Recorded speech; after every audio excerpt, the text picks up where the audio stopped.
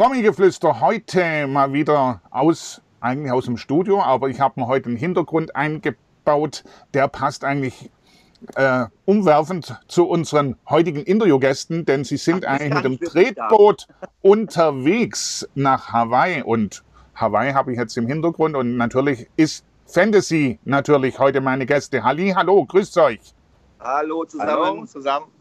Ja, äh, wie weit seid ihr mit dem Tretboot? Jetzt seid ihr schon drüben oder? Ja, das Tretboot ist nicht wie prognostiziert untergegangen bis jetzt. Also noch schwimmen wir und äh, mal schauen, wo es, wo die Reise hingeht. genau. Oder müsst man eher dann zum letzten Teil dann die 10.000 Luftballons für euch in die Hand nehmen? Wir, wir sind ja auf alles vorbereitet, denn nicht umsonst haben wir die 10.000 bunten Luftballons aufgeblasen, damit wir, falls das, falls das Tretboot untergeht, äh, von den Luftballons noch gerettet werden können. Ja, also das passt eigentlich alles perfekt zusammen. Und 10.000 Luftballons, das ist auch euer aktuelles Album, ne? Ganz genau, so sieht's aus. Genau. Und jetzt in der Krise, wie geht's euch? Was steht bei euch an? Ja, das ist eine gute Frage. Ähm, wenn wir in die Zukunft sehen könnten, dann würden wir das sagen. Ähm, das können wir leider nicht. Also wir sind genau wie alle anderen Menschen im Moment gerade ein bisschen außer Gefecht gesetzt worden mit Gewalt. Mhm. Und wir hoffen, dass das ganz schnell vorbeigeht und dass wir wieder normal äh, arbeiten können und leben können. Wie alle anderen Menschen natürlich auch. Wie alle anderen auch, genau. Wie schaut's mit Urlaub aus? Habt ihr den auch schon hinter euch? Ich glaube, da zieht's euch immer mal wieder nach Kroatien. Ja, ich bin ja, ich habe ja, meine Mutter ist ja Kroatin und wir haben da immer schon ein Haus. Also seitdem ich Kind bin, das Haus gehörte meiner Oma.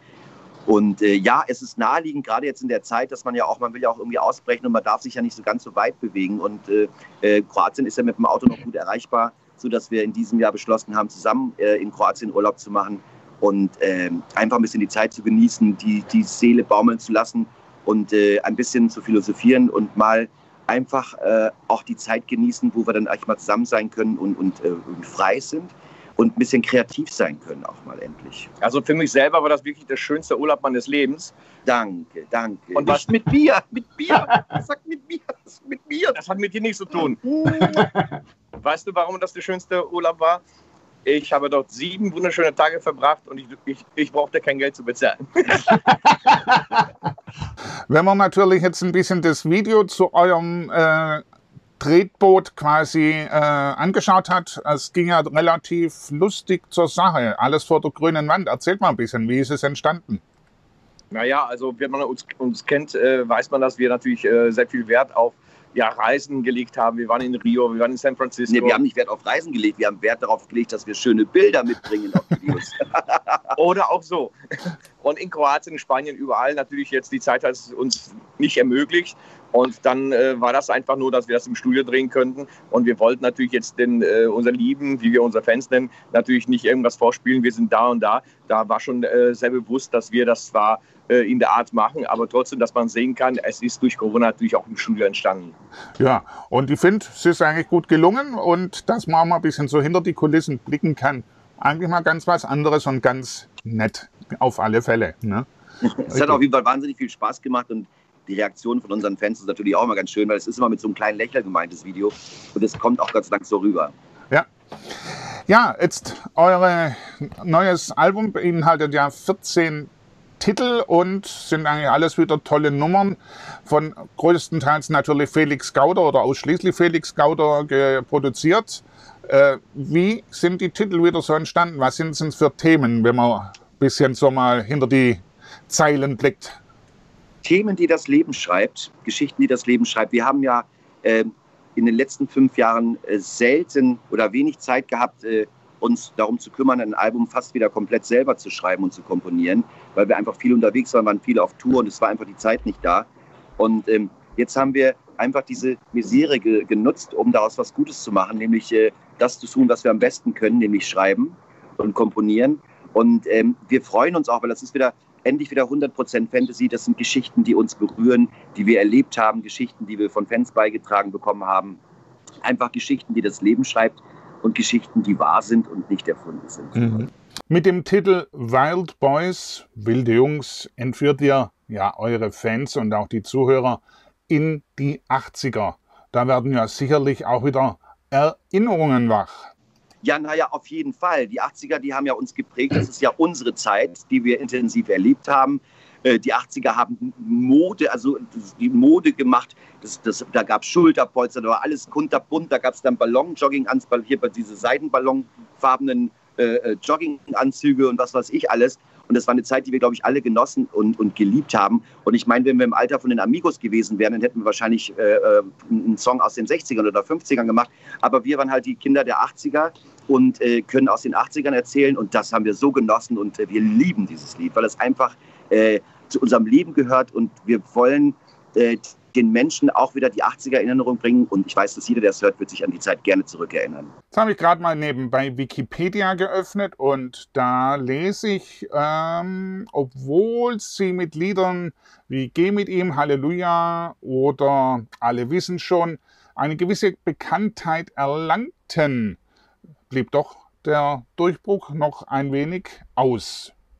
Das änderte sich wohl erst, äh, als Andrea Berg euch mit ins Vorprogramm nahm.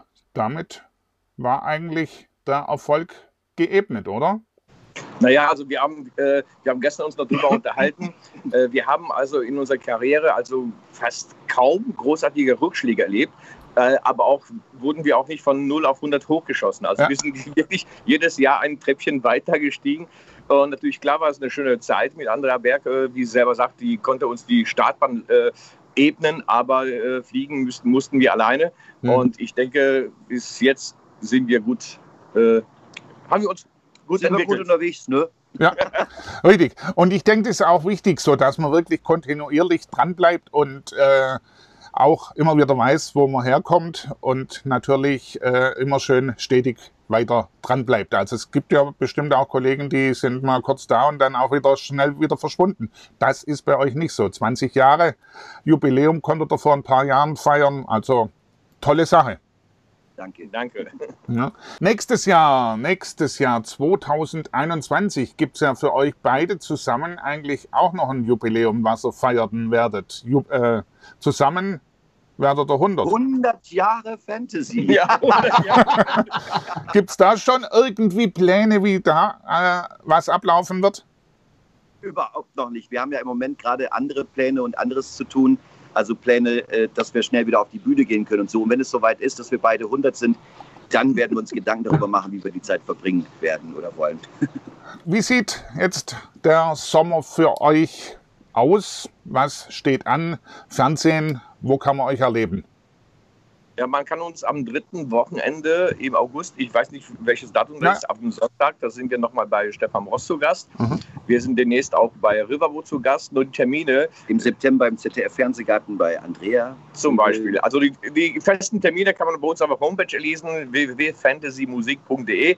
Aber dadurch, dass wir täglich jetzt bei der Promotion Tour irgendwie sechs, sieben, acht, neun Termine haben, äh, die Daten äh, können, kann ich dir heute nicht geben.